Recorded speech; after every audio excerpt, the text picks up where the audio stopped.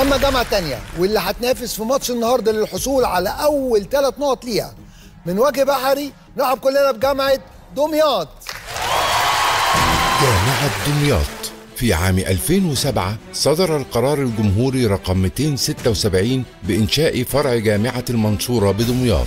وفي شهر يوليو عام 2012 صدر القرار الجمهوري رقم 19 لسنة 2012 بإنشاء جامعة دمياط ومقرها مدينة دمياط الجديدة. تضم جامعة دمياط 13 كلية منها كليات الهندسة والحاسبات والمعلومات. والعلوم والفنون التطبيقية والزراعة والتجارة والآداب.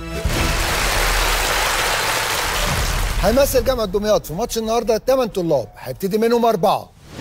يمكن الحلقة اللي فاتت كنا متوترين زيادة عن اللزوم. إن شاء الله بإذن الله الحلقة دي هنحاول نكون أهدى لأن التوتر أثر علينا جدا والتسرع كمان كان من نقط ضعفنا. وبإذن الله نكسب الماتش ده والماتش الجاي عشان نتأهل. أنا سعيد بالأداء اللي أنا قدمته الماتش اللي فات واللي عن طريقه قدرت أساهم في تطوير الكرة عن طريق مبادرة البنك الأهلي. وبتمنى إن أنا أقدم أداء أفضل من كده كمان المرة دي وأساهم أكتر وأكتر في تطوير الكرة. إحنا ما توفقناش الحلقة اللي فاتت بس إحنا استعدينا أكتر للحلقة دي. إن شاء الله جايين واثقين الماتش ده والماتش الجاي إن إحنا هنعمل أداء أحسن. إن شاء الله نتأهل لدور الثمانيه الماتش بتاع النهارده ممكن يكون صعب شوية علينا خصوصا إن إحنا ما كسبناش الماتش اللي فات أو ما كانش فيه توفيق. أي نعم كان عندنا بعض الأخطاء كده بس الحمد لله اشتغلنا على نفسنا كويس جدا إن إحنا نتفاداها علشان نحاول إن شاء الله نتأهل لدور الثمانيه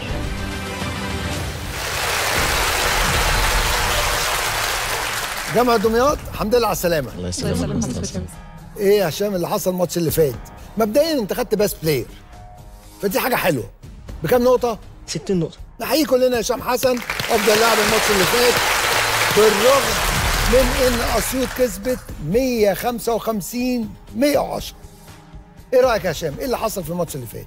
والله إحنا كنا بادئين كويس وكان الموضوع ماشي وبعدين حصل لنا drop في الثقة. لما اسيوط قدروا يخطفوا مننا فقرة عجلة الحظ وضربات الجزاء.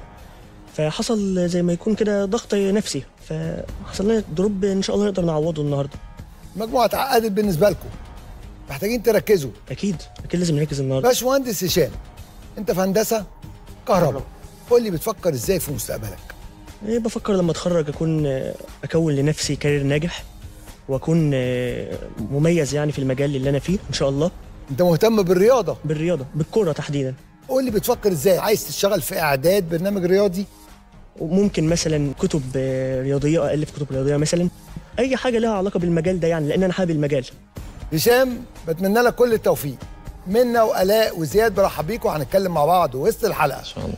كلنا نحيي جامعة دمياط.